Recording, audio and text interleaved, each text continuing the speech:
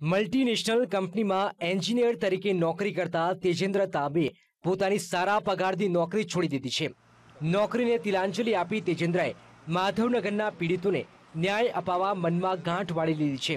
ગત વર્ષે જન્માષ્ટમીના દિવસે અટલાદરા વિસ્તારમાં આવેલી માધવનગરની વસાહત ખરાબ બાંધકામને કારણે ધરાશાયી થઈ ગઈ હતી, જેમાં અગિયાર લોકોના મોત થયા હતા.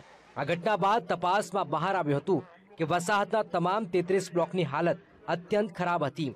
આ મામલે અસરગ્રસ્તોને યોગ્ય વળતર આપવાની વારંવાર રજૂઆત કરવામાં આવી હતી. તેમ છતાં, અસરગ્રસ્તોને યોગ્ય વળતર ચૂકવાયું નથી. માધવનગરના અસરગ્રસ્તોને યોગ્ય વળતર ચૂકવવામાં આવે અને દોષિતોને સજા મળે તે માટે તેજેન્દ્ર તાંબે ગુજરાત હાઈકોર્ટમાં એક જાહેરિતની અરજી કરી છે. આ અરજીમાં તેમણે માંગણી કરી છે કે માધવનગર અને કેશવનગરના નવા બની રહેલા મકાનો પીપીપી મોડલથી બનાવવાના બદલે બુડા તેમજ સેવા સદનના જવાબદાર અધિકારીઓ અને ગુનેગાર કોન્ટ્રાક્ટરોની મિલકત વેચીને ઊભા કરવામાં આવેલા નાણાંમાંથી બનાવવામાં આવે. આ સાથે તેજેન્દ્રએ અસરગ્રસ્ત પ્રત્યેક પરિવારને એક લાખ રૂપિયાનું વળતર આપવાની પણ માંગણી કરી છે. આ મામલે રાજ્ય સરકારે પોતાની ભૂલનો એકરાર કરી દીધો છે. ત્યારે ગુજરાત હાઈકોર્ટે રાજ્ય સરકાર બુડા સેવા સદન અને દોષિત કોન્ટ્રાક્ટરો સામે નોટિસ કાઢી આ મામલે જવાબ આપવાનો આદેશ કર્યો છે. કોર્ટે પણ ઘણી વસ્તુઓની નોંધણી કરીને બધા જ જવાબદારો સામે પગલાં ભર્યા છે અને નોટિસો કાઢી છે. અત્યારે છેલ્લી જ્યારે હિયરિંગ હતી, એની અંદર સરકારી વકીલે આ વસ્તુ ગેરકાયદેસર રીતે થઈ છે અને સરકારનું દુર્લક્ષ્ય થયું છે એ વસ્તુની કબૂલાત કરી હતી.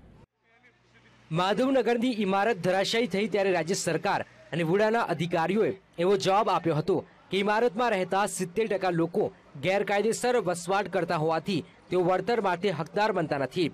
આ અંગે તેજેન્દ્ર તાંબે પોતે કરેલી પીઆઈએલમાં નોંધ્યું છે કે જો રાજ્ય સરકાર અને બુડાના અધિકારીઓને ખબર હતી કે ઇમારતમાં રહેતા સિત્તેર ટકા લોકો ગેરકાયદેસર વસવાટ કરે છે, તો પછી તેમની વિરુદ્ધ ઇમારત તૂટી પડી ત્યાં સુધી અધિકારીઓએ કોઈ પગલાં કેમ ભરે નહીં? હાઈકોર્ટે તેજેન્દ્ર તાંબેના પ્રશ્નને ગંભીરતાથી લઈ સરકાર પાસે જવાબ માંગ્યો છે. બેઘર બન્યા છે, નુકસાન એ લોકોને થયું છે.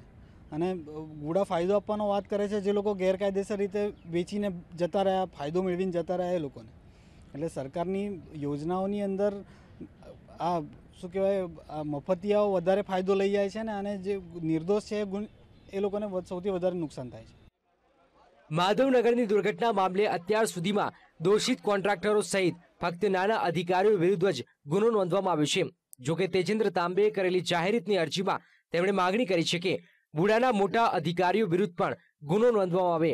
આપણા દેશમાં જાણે કે પરંપરા બની ગઈ છે કે જ્યાં સુધી કોઈ વ્યક્તિ મોટું બલિદાન ન આપે, ત્યાં સુધી સરકારની આંખો ઉગડતી નથી. તેજેન્દ્ર તાંબે પણ નોકરી છોડી આવા જ એક બલિદાનના માર્ગે આગળ વધી રહ્યા છે, ત્યારે આપણને ફરી એ જ પ્રશ્ન થાય કે શું ન્યાય મેળવવો ખરેખર આટલો દુષ્કર છે? રોહિત ચાવડા વીટીવી વડોદરા.